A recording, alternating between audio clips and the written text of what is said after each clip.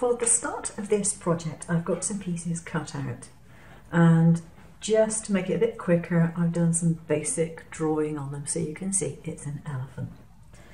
Now I've already put one piece into the head of here and what I'm going to do is use some sticky tape and to stick that on the back. There's a little tab and the tab needs to be stuck down. Do not obscure the little slots which are there. Make sure the tape is not over those. But I want to be able to keep that trunk in place and not have it go disappear on me. So that's the head. And here I've got a piece which I've cut so that we can make this into a three-dimensional elephant. Now this funny looking thing here, which is one leg and a bit of a knee, is the first one to go on. What we want to do is to put this through here. Now, as you can see, it won't easily go, so there's a very easy way of doing this. Just bend the tabs back. Bend them to the outside, not the inside. If you bend them to the inside, you can't easily get at them to flick them back out again. But if you bend them to the outside, you can. So this makes the threading of this so much easier. Making sure you put it on the right way is always a good idea. Believe me, I've done this video several times today and I've managed to mess it up every single time. So, the video that is, not necessarily the elephant part of the video. Push it all the way through to the back and then put those tabs back up. The little tabs can stay down still, but the big tabs can go back up again. You use those and it, it's fine. Do the same with the opposite side. Now I've made the file for this with a fairly generous slot, so this is a fairly heavy card, so it should be fine. Shouldn't have any difficulty with it. So there we have one leg, and I know he looks very peculiar at the moment. He's going to start to look better. So next time we want to put on the main part of the body. And this time we only need to push the two smaller tabs in and hopefully this will go through relatively easily. Sometimes it makes sense to use a pair of tweezers just to hold the tabs flat and then you can get them through a bit easier. There we are. Oops. So now those tabs can be folded back out when they've been used. So on this side, I'm just going to squeeze it together with my tweezers until it's gone through the hole and pull the tabs out. So now you can see it's definitely looking a bit more elephant-like now. This is where these two tabs come in because this is going to go on top of the little arrows. So the arrows are going to go through here and when the arrows are through you can press this down flat one way or the other, it doesn't make much difference which direction you're going at the moment. But you want to press the arrows to the inside and you want to glue them down. You want to make sure they are well glued. Okay, so you could use a strong double-sided adhesive if you have one, but if you don't have one that you trust, don't trust it because it's almost bound to come and bite you when you've finished. So my elephant is pretty much finished, but we need to work out how to put it in the card and I have worked out a relatively simple method for doing that. Okay, take number 122. Actually, not quite that bad, but it's starting to feel like it. So I've got my elephant made, and that's easy enough, but I need to put him in the card, and that is what's been causing me so much difficulty. Nothing I've used has seemed to have stuck it down and kept it there, or it's been in the wrong place, blah, blah, blah. Right, so I've now gone through all my other card bases and I've just got this one left, so it's got to work now. And I want to put him so that he's round about there. Now, make sure you make sure that mechanism is facing to the center fold of the card. I have some hot glue, which I'm currently using because if nothing else is going to stick it, this certainly should. So, first things first, I'm going to put some glue on the back of here and get my elephant actually stuck to the card and it would help if he was up the right way. Okay, I'm putting him there. He's stuck there whether I like it or not now. Because I don't think this is going to move anywhere near as easily as the other stuff did. Now I do want to make sure that I haven't got anything stuck down that I don't want to stick down. Yeah, he's free moving. In actual fact, I would be quite happy with that. But of course, once you've closed the card, it's not necessarily going to bounce back up. It might, but it might not. So we still need our strap, and I've decided there's only one thing that's going to do this. I'm going to have to use hot glue to glue the strap to the back of his body, and I need to do that with him in the position that he would be in if he was close. So basically, he's not stood up like that, he's flat as he would normally be. So, I'm going to put some hot glue on here. Not much of it is coming out of there, but enough, I should think. And, okay, that's under his leg and hopefully not gluing anything else down. No, that's fine. Okay. Going to let that cool a little bit before I do anything else because I don't want to muck up this time. Can't believe how many goes that I have had to do this. I really can't. It is somewhat amazing. Now, what I want to do is to mark off. Oh, ow! I just put my hot glue over my pencil. Oh dear. Right, so I want to mark this quite accurately. So I'm going to get my ruler in place. There we go, bend the card and then I know that is exactly where it is supposed to be. And I'm going to draw a faint line just there. That is the distance between the back and the first layer, pretty much. So that needs to be cut off. And this piece will get bent like so, but it's not going anywhere just at the moment. I need to put hot glue on here. Need to make sure it doesn't spirt out too far. There we go. And I'm just going to close the card on top of that.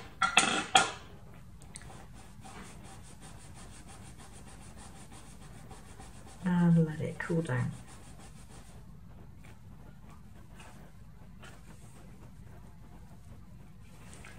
And now I have it so that when he's opened up, he pops up. I have tried so many times with the step method of getting this to pop up and it just hasn't seemed to want to work. But this has finally worked really well. I think he's quite cute considering this is just a, a mock-up version. I quite like him. I think I might be tempted to go in with my brushes and things and do a background for this one. And of course it means you can do whatever you want with the front because you've got no cuts in the front. You can put panels on or not as you wish. It doesn't make any difference. So I think that is probably the easiest way of getting it right. Uh, I said I've tried all the other ways and it's yeah, I just ended up in a mess. It's taken me hours to get this working properly. There we go. Right, now I'm going to go into Sure Cuts A Lot. I'm going to show you how to manipulate clip art so you can make your own designs.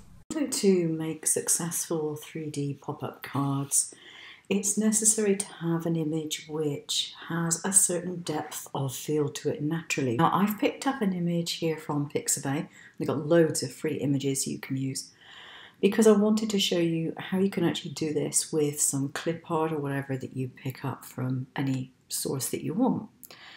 Now I've gone for this caveman because he doesn't actually fit the traditional image that would be easy to do. But I wanted to let you know that it can still be done. You just need to give it a little extra thought. So my caveman was the original image, but when I tried it out, first of all, I made it so that his face was divided into two sections and the stones were behind him, but so was his, you know, the leg was at the back as well. And it, it just didn't really work out. So, what I decided to do was to alter it by bringing in a couple of boulders. Now, I've exaggerated the shape of these to suit my purpose. This is the shape they came out. So, the next thing that you need to do is to decide which areas you want to cut out for which part. So, you want a back, a middle, and a front. Now, obviously, my boulders are going to be the back, so that's easy. I put it into my software, I traced it, and it's basically ready to go. The caveman is another matter altogether, not quite so easy to discern. But what I decided to do was for my next layer, I was going to use the rock that he sat on. Now, because you have to have a certain amount of overlap for each layer in order to use this tab to make it, I had to create a much larger piece of rock than you might expect. Then for the next piece, I decided to have the caveman himself all cut out with his bone wheel here and his knee and his foot and everything all in one piece. And then finally, I decided to have a tabbed section, which is actually going to be the wheel that he's cutting, and it has a little tab that will slot into the previous layer. So once you've decided which bits your shapes are going to be, you have to line them up so that they can be put together by the tab. And that's why I've got these two slots here and they will fit this tab here without too much difficulty. But you need to work out your positioning for your actual elements. So what I've done is I've put all my pieces over this drawing. You can't easily see them because of the drawing. Here we go. This is my image moving out of the way.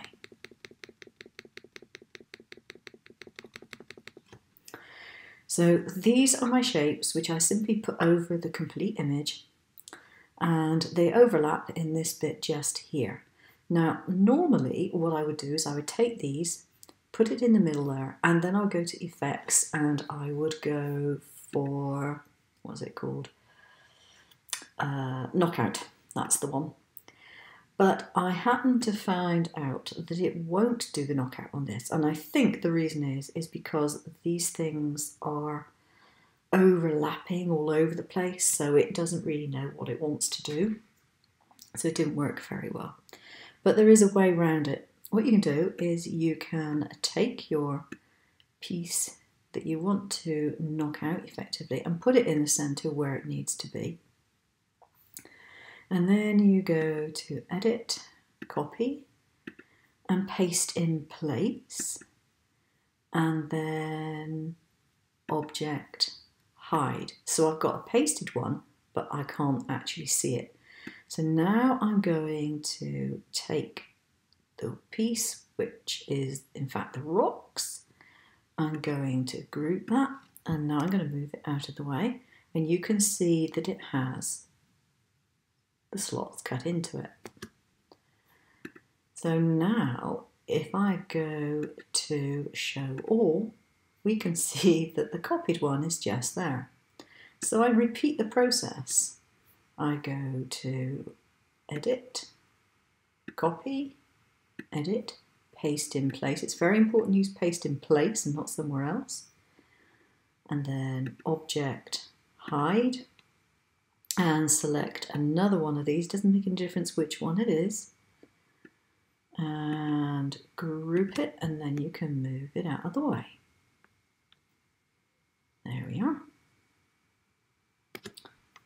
And now we go to show all, and that one can be grouped as well. There we go. So we have our pieces with the slots cut in. So all we have to do now is to take our original images and line them up on that. This was my standard image, so I really don't need that in there. And everything is as it's supposed to be, as far as I can tell. Just checking this preview again. And one, two, three, and the flat bit. Yep, that looks to be fine. Okay, so I'm going to put these where I want them on my page to do a print and cut.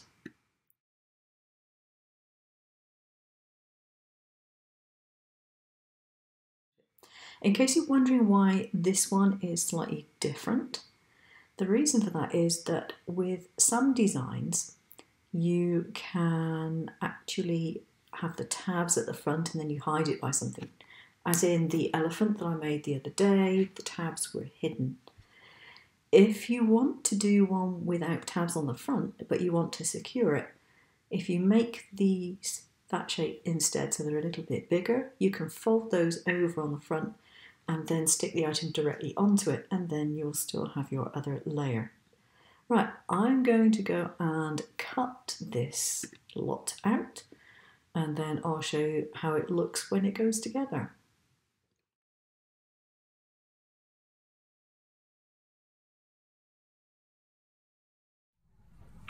Okay, second time lucky with any luck at all. So push these to the outside. See, I was even going to do that to the inside. Whatever next. And push these tabs back.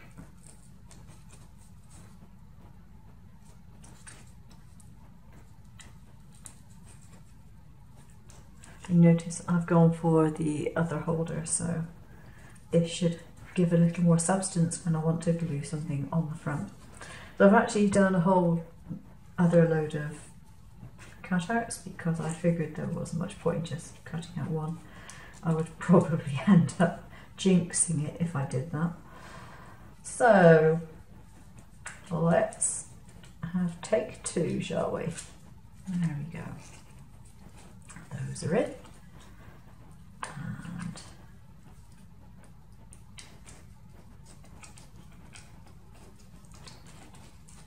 Those are in like that. And the second row was the bit with the cornerstone on there.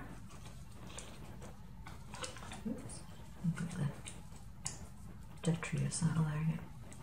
There we go.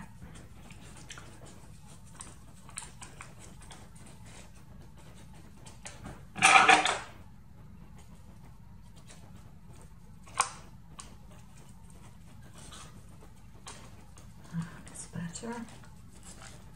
That side up.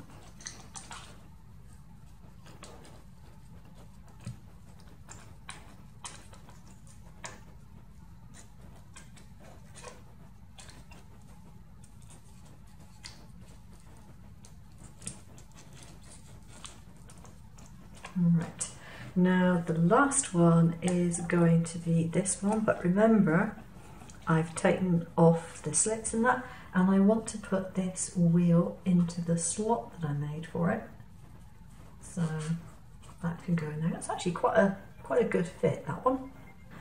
And it's a good idea to put a piece of sticky tape at the back just to make sure it stays there, although that one is quite a firm fit. It actually gives quite a nice result. So what I have here are the two other tabs. Remember I had the arrows that would normally be stuck through something and I definitely don't want that. So what I'm going to do is just give these a bit of a fold like so, but I'm going to fold them inwards. Now you can use double-sided tape or you can use glue depending on what you feel happiest with but you want something that's going to stay stuck and because I'm doing this on the camera I'm going to go for double-sided tape because it's quicker. I don't have to wait for it to dry. And if you stick something solid underneath that you can press against it, it makes it a lot easier to do this. There we go. So I need to line up that with that, I think. And there we have our three-dimensional caveman. I am just relieved to have finished.